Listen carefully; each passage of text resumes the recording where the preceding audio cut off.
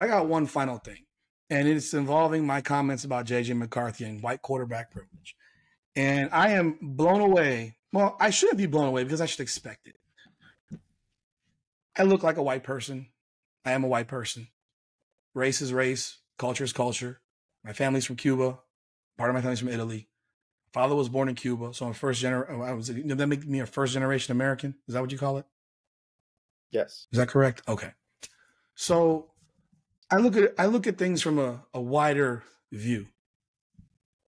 What the fuck is the deal with the white people, white Americans in this country, fucking so triggered by the term white privilege?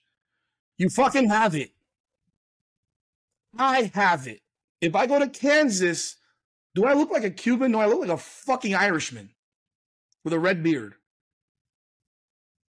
When I get pulled over by a cop, I'm a white dude. So why the fuck do people not think that white privilege translates over to football? How many quarterbacks in the NFL right now are black in a league that's 75% black? 10? How many coaches? Six? There was three last year. There's six now. And we're going to sit here and be delusional and sit here and say that JJ McCarthy from Michigan is not getting white privilege as a quarterback? The guy that threw for less than 200 yards in five of his last six games of the season last year, and whenever he played a good team, he didn't do shit. Jumping him over Michael Penix, who was one of the best players in the country last year, and the only reason Washington was in the national championship was because of Michael Penix. Yeah, I got people argue with me on our po- on our post, and you saw it, Nick. I mean, giving me all kinds of deflections. Deflect, deflect. Oh, well, Taylor Bloom is the number one pick. Jayden Daniels is ranked in the top four. So they earned it on the field. No one sit here, no one was sitting here and saying that black quarterbacks haven't been drafted number one.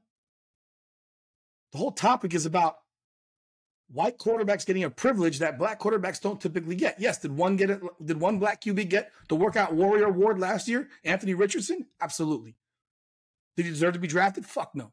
Is he going to bust out in four years? Yeah, he'll be out of the league in four years. These teams consistently think that they can change and fix guys that are not good in college. They keep doing it, and it's exhausting.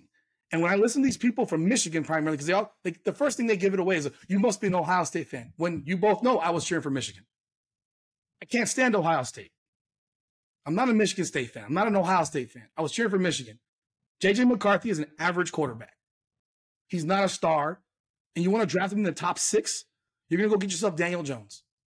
You can get yourself Mitchell Trubisky. I read a, I read the profile of Mitchell Trubisky. Let me ask you two guys real quick before we go.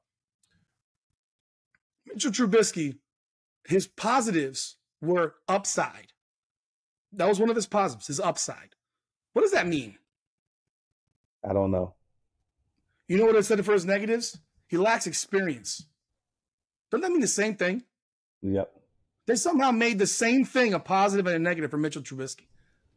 And then at the same time, mind you, Tar Heels, UNC played the same offense that Texas Tech had shotgun spread offense. Patrick Mahomes in that same draft class.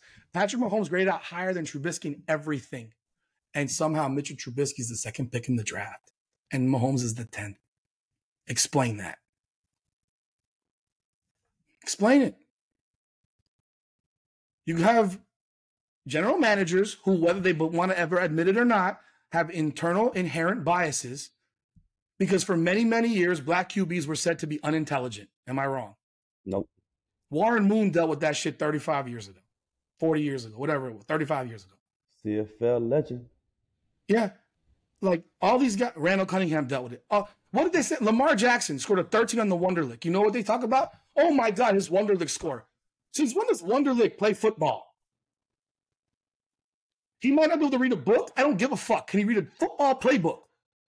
I don't care about whether he can fucking do a test in math or whatever the Wonderlic is. It doesn't matter to me. Can he play football? On every level, that man played football at a high, high level and was drafted behind multiple guys Baker Mayfield, Sam Darnold, Josh Rosen. Like, what are we talking about? Josh Rosen's not in the league anymore. And they'll wow. say he's he's slender and small. You know what? Lamar Jackson's the same size as Baker Mayfield. But Lamar is small and Baker's number one pick in the draft. I'm not arguing Baker being number one pick in the draft because he was the Heisman Trophy winner, and was a monster in college. But Rosen was a fucking ineffective bum who didn't win. Darnold was okay. And Lamar Jackson was the Heisman Trophy fucking winner. And we're sitting here acting like this man can't play football. Every time there's a comparison of a black QB to a white QB, the one person replied to me, What about when a white QB is compared to a white QB? Do they ever mention intelligence? Never. Every time you compare a black QB to a white QB, the first thing that comes out of anyone's mouth is, Are they intelligent enough? What is their intelligence level? Are you fucking kidding me? Patrick Mahomes had one line where it said, he needs to learn. Learn means he's, he's he doesn't learn. Really? He needs to learn something. And and for Trubisky, it was the same shit, but it was not stated as learn. It was needs experience. One is negative, one is positive. And that's written by the exact same guy in the exact same freaking profile. Same year, I read them both. I wanted to compare them. The negatives on black quarterbacks are like this. The negatives on white ones are like this. And then they're rewritten in a way where it makes the black QB drops his ass down and makes the white QB look like this.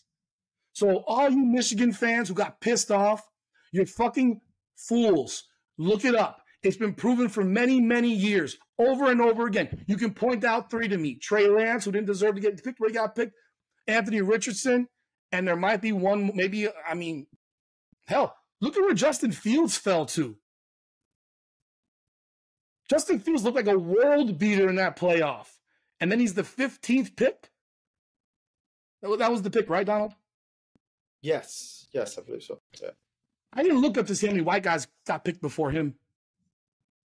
How many times, how many Alabama QBs who are white got picked and gotten flamed out? Mac Jones has been a disaster, and they've been pushing that guy up the fucking rank. They pushed so hard to get him drafted. So I'm sick and tired of hearing the bullshit. White privilege for quarterbacks exists. You don't like it, go fuck yourselves. Michael Penix is better than JJ McCarthy, and I'll bet anybody right now that Michael Penix will be a star in the NFL and JJ McCarthy will be out of the league or a backup in five years. I'm done. Uh, Justin Fields was number 11, but still, okay. it was pretty. Who went before him? A lot of bumps, but uh, he was no. he was 11. That being said, guys, uh, we are gonna wrap up this colorful, entertaining well, episode. To be honest, uh, Justin hasn't proved anything either yet. So, good, go ahead. He Listen, hasn't. Give, he hasn't. Give him stability, Nick. We'll see That's... when he has stability. Oh yeah, you know who got picked ahead of Justin Fields? Zach Wilson. he got picked high. Number two, ahead of Justin Fields. He got picked. Really and you're telling me that Zach Wilson was a better college quarterback than Justin Fields? Come on, man. His upside. Come on.